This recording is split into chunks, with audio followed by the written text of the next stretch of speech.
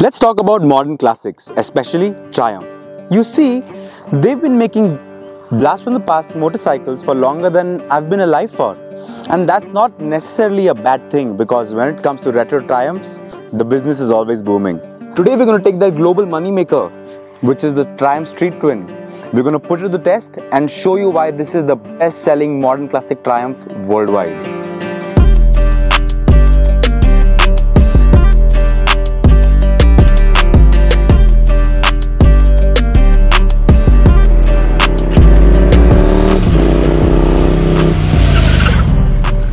Upon riding the Street Twin, there's an immediate congenial relationship that forms, as if you've been reunited with an old friend of yours.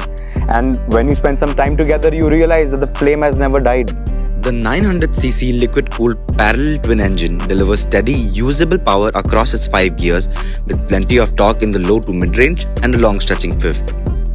Although vibrations can be felt in the pegs, when the digital tach hits 5500 rpm, that feeling does not make its way onto the rubber-mounted handlebars. Triumph's gearbox and the wet multi-plate assist clutch are velvety during gear changes. They're quick, effortless and precise. Pair that with the modern technology of ride-by-wire and you've got a ride which is controlled, engaging and comfortable.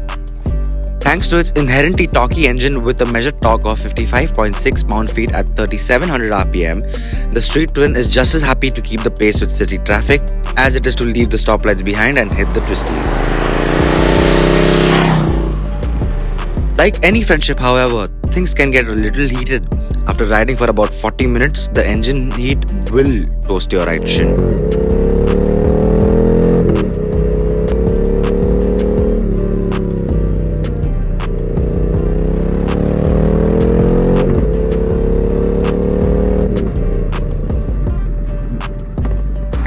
Of you saying that the GT650 twins are making bikes like these, the Triumph Street Twin, obsolete because of its monumental price tag, really need to do one thing, which is ride a bike like this. Try to understand the craftsmanship and the difference in gear. The Bonneville 900cc HT motor is somewhat like an upscale version of the 650cc motor that you get in the GT Twins but that is not the case. This engine is so much more characterful. You've got pops and bangs and crackles all the way around and the engine just feels more lively and that is one thing that you do not get in the Royal Enfields.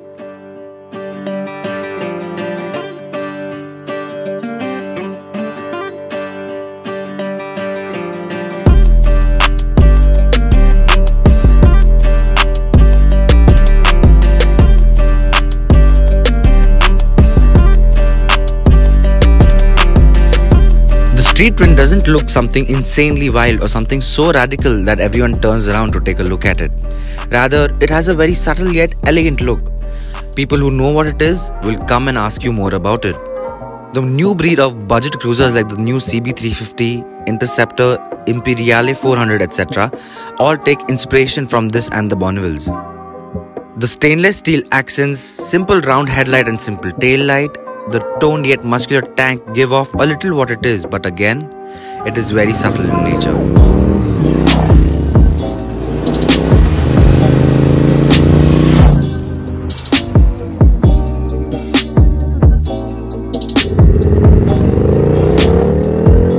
With a price tag of 9.4 lakh rupees, you get the best in class build quality from Triumph right in this street twin.